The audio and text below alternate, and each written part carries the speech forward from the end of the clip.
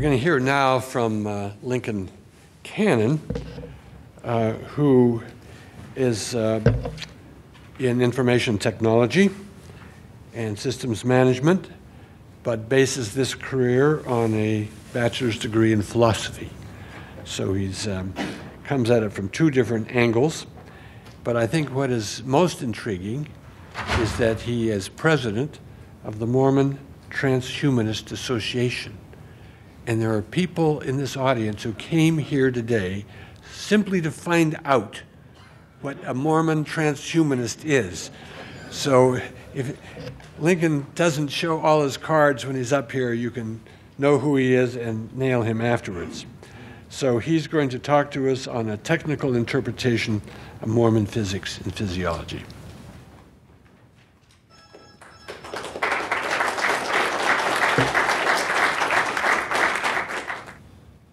So, how often have we heard that question? Are science and religion compatible? And yet, how many of us are still waiting for the answer? What are we waiting for? Do we expect someone will discover or reveal the answer? Could it be discovered or revealed without begging the question? For example, can we use science to answer a question about science without already assuming its axioms and its methods? Likewise, for religion, can we use it to answer a question about itself without starting from faith? What about technology and spirituality? Who decided that hope, healing, and heaven must be supernatural? How are so many of us persuaded that we can experience the spiritual but not measure it, and that we can promote such experience but not manage it with greater precision? When did we convince ourselves that machines must be cold metal and hollow plastic, forever in contrast to the warmth and the beauty of the human soul? In our paper, A Technical Interpretation of Mormon Physics and Physiology, Scott Howe and I contend that Mormons can and should affirm the compatibility of religion, science, spirituality, and technology. We present an interpretation of Mormon scripture and tradition, particularly their descriptions of how the universe and our bodies work, in terms of contemporary science and technological trends. Of course, we know that further research will prove our interpretation to be inaccurate to some extent, but that's okay. The purpose of our, is, the purpose of our interpretation is primarily to demonstrate the possibility of technical interpretations generally, as context for our more serious interest, which is to identify some practical and moral reasons for which we all should adopt technical interpretations.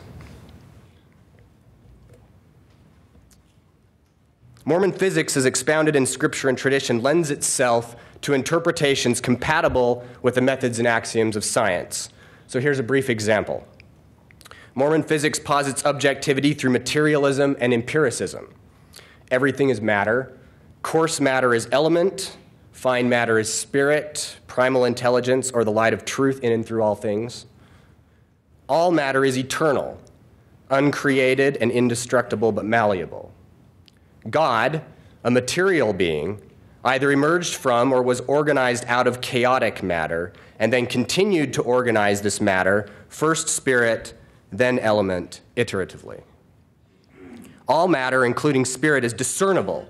Experience leads to knowledge, knowledge leads to truth, which is contextual and dynamic. If we will seek, nothing will be withheld. Mormon physics also posits consistency, causality, and uniformity. Innumerable systems exist in space and time and all have laws.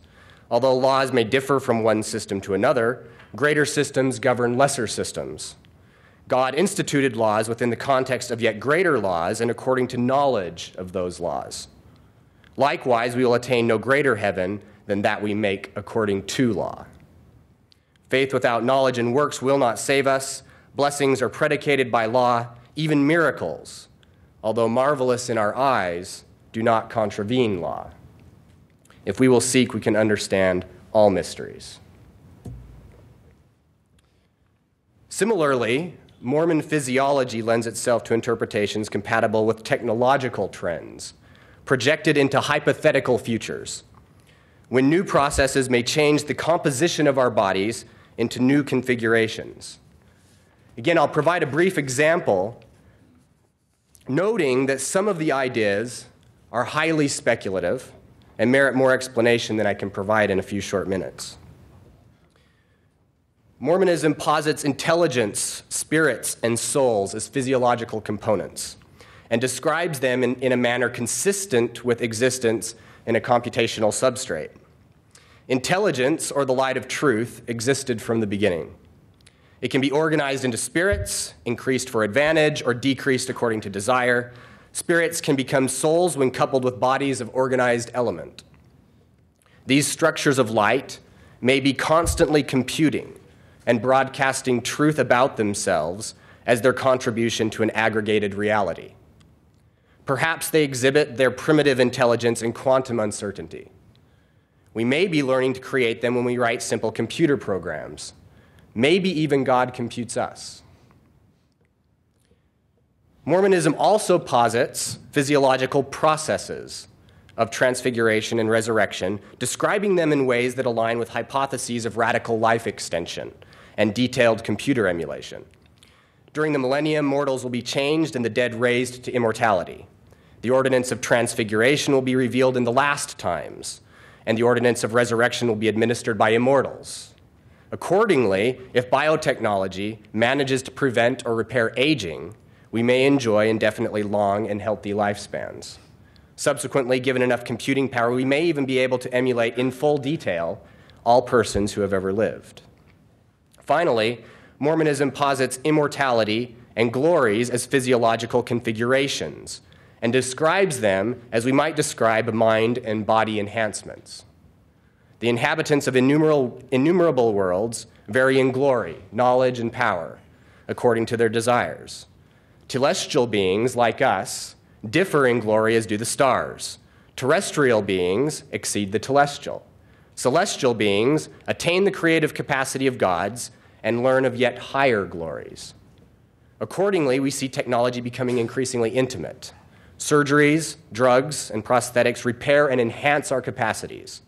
Computers that once filled warehouses are now embedded in our bodies.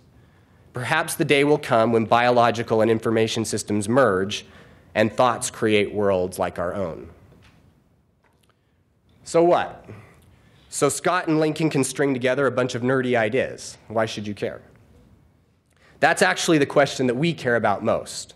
In fact, that's probably the most important question of this conference.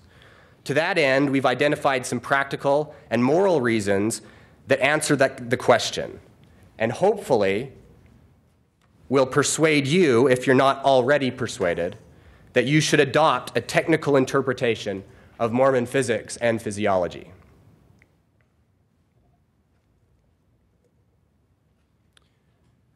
Can works save you? Christians debate whether good works are necessary for salvation, with responses ranging from the extremes of Calvinism, salvation does not depend whatsoever on our efforts, to the extremes of Pelagianism, salvation depends almost entirely on our efforts. Most Christians situate themselves somewhere between these two extremes, but where should we situate ourselves? Here's a wager bet on better works. In any choice between ideologies, choose the one that you think will affect you to evidence better works. To the extent Calvinism is accurate, your choice won't matter either way. To the extent Pelagianism is accurate, your better works will save you. Regardless of how you define salvation or good works, the wager stands. One may define salvation as happiness and good works as benevolent power. Another may define salvation as utility and good works as ethical technology. Will more benevolent power make you happier? From a secular pseudo Calvinist perspective, it doesn't matter because something beyond your benevolent power will determine your happiness. In other words, to the extent pseudo Calvinism is accurate, it can't hurt to bet on benevolent power. Will more ethical technology increase your utility? From a secular pseudo Pelagianist perspective, your utility depends on your ethical technology. So, to the extent pseudo Pelagianism is accurate, ethical technology is a good bet. So there's three ways of looking at the causal relation between good works and salvation. Number 1, they don't have a causal relation. Number 2, they have a negative causal relation, or number 3, they have a positive causal relation. Number 1 is of no practical consequence by definition. Practice is limited to works, power, and technology. If good works, benevolent power, and ethical technology are no more likely to cause salvation, happiness, and utility than our evil works, malevolent power, and unethical technology, then it doesn't matter whether we reject number one, even if we're wrong. Common sense rejects number two, as it should, again based on definitions. We don't hear anyone argue seriously that good works cause damnation, that benevolent power causes misery, or that ethical techno- technology causes inutility, because it's nonsensical.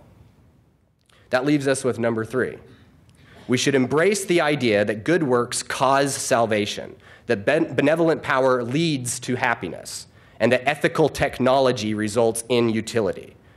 Bet on better works, benevolent power, and ethical technology. In any choice between ideologies, choose the one that you think will affect you to evidence better works, more benevolent power, or more ethical technology. If there's anything you can do to achieve salvation, happiness, or utility, you will have done it. Human ideologies are information systems. Like computer information systems, which help us act sensibly within an environment of networked computers, ideologies help us act sensibly in our complex world. Although far richer than computer information systems, ideologies are still systems of interrelated symbols, codes, laws, words, and so forth.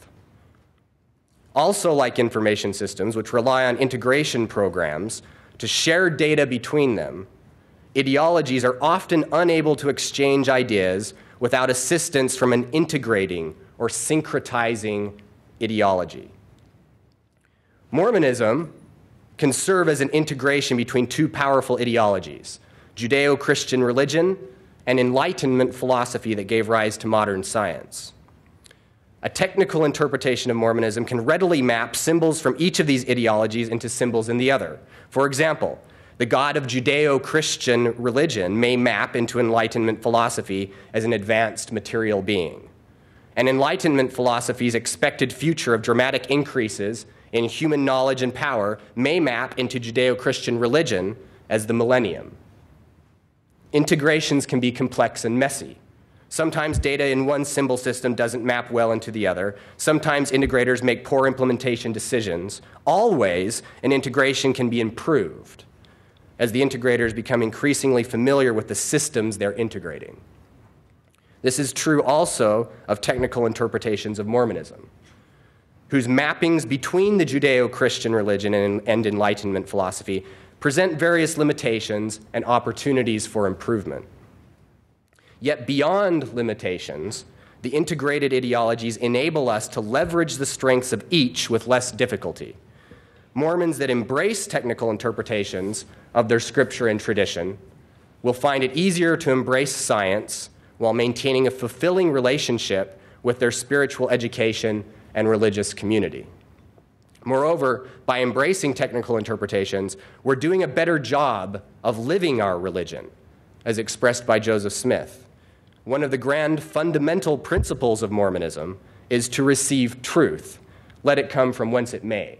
Mormonism is, on principle, an integrating ideology.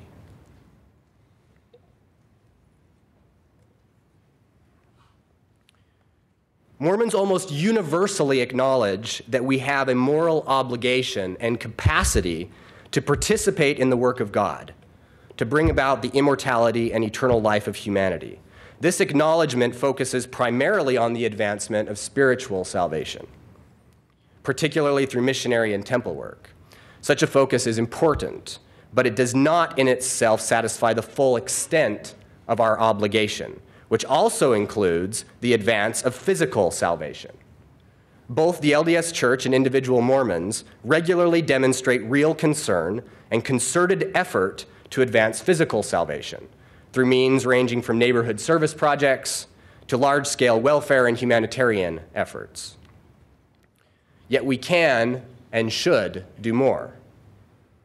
Each day, around 150,000 persons die.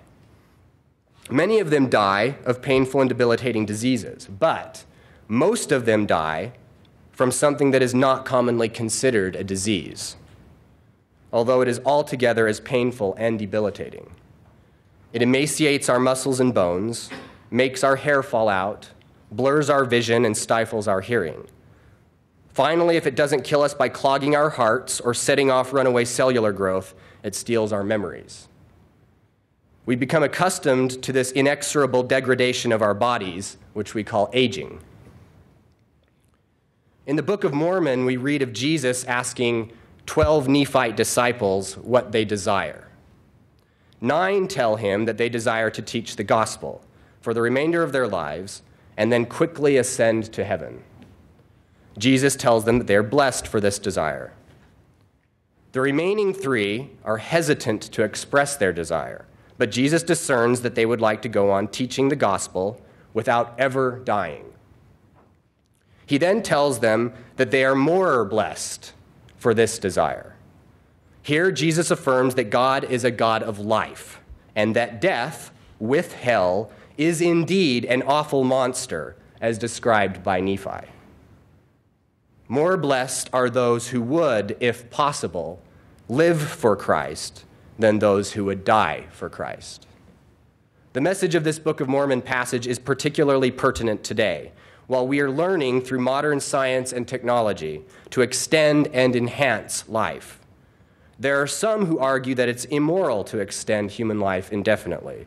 There are others who see such power as an endowment from God and as means of deliverance from Nephi's awful monster. Will we, like the three Nephites, be more blessed by making use of the means provided?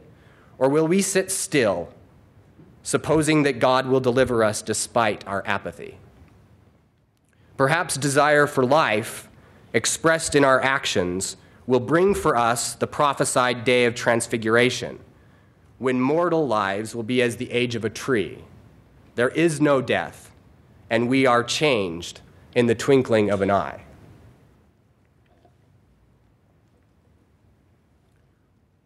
Science and religion are compatible, not necessarily because of any discovery or revelation, although those may abound in our perspectives. Rather, science and religion are compatible because we can and should make them compatible. It's primarily a matter of choice. It may require some humility and willingness to acknowledge that we don't already have the best understandings of one or the other. But it's in our interest, both practically and morally. God willing, we'll enjoy some things that are even better when we mix them together. Thank you.